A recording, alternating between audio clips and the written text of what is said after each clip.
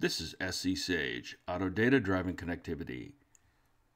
VID 437527 is a 2019 Porsche 991 Speedster base with manual transmission.